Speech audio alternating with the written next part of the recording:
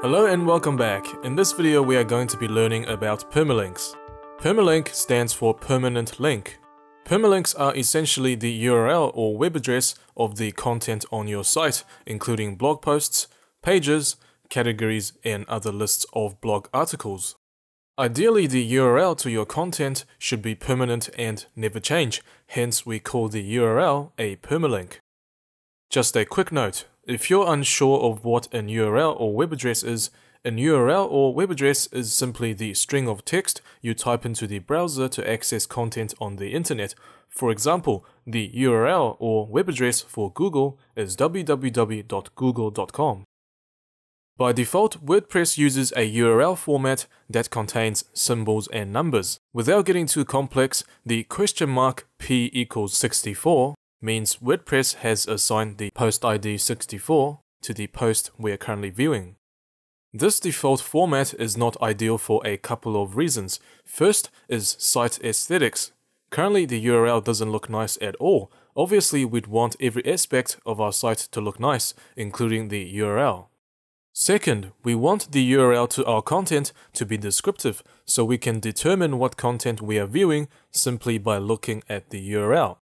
Right now, it doesn't tell us anything except a page ID. The third reason is the current format of this URL is not search engine friendly. Search engine optimization, or SEO for short, is a topic we'll be discussing in the future, but in a nutshell, when search engines indexes your content, you'd want the search engine to know exactly what your content is about so it can be indexed properly. For example, the URL for our Bora Bora post is currently p equals 64. The search engine will not know our post is about Bora Bora at first glance because our URL doesn't specify anything. So when a user searches Bora Bora on Google, our post will not rank very well because as far as Google is concerned, p equals 64 has nothing to do with Bora Bora.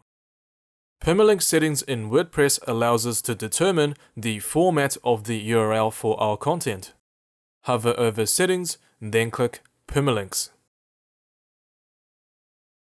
WordPress lists several common permalink settings here for you to choose from and as the radio button indicates, the default setting is currently selected. Day and name will display the year, month and day in front of the post or page title. Month and name will display the year and month before the post or page title. Numeric will display archives in front of your posts or pages, which will have a numeric ID. Post name will display the URL for your posts and pages as the site URL followed by the post or page title. When we cycle through the options, WordPress will automatically fill in the permalink variables. These variables lets WordPress know what rules to follow when generating the URL for your content. You can also specify a custom structure. For example, if you want the URL for your content to be the site URL followed by category, then post name, you type in slash category wrapped by percentage signs, then slash post name wrapped by percentage signs.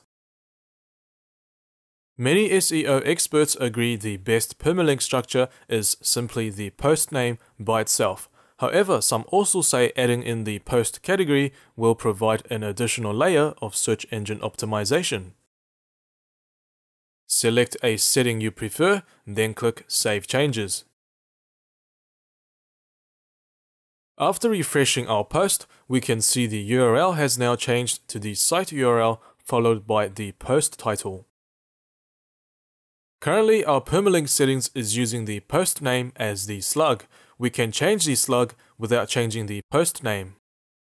Simply click on the slug, make changes, click Save, Update, and view the post.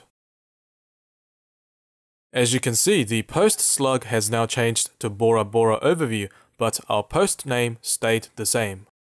Now, when users search for Bora Bora on Google, our post will be better ranked in the search results as Google can see from the post URL it's related to the search term. Category and tag bases are URL prefixes for category and tag archives. We won't worry about it for now as the default settings are fine in most cases.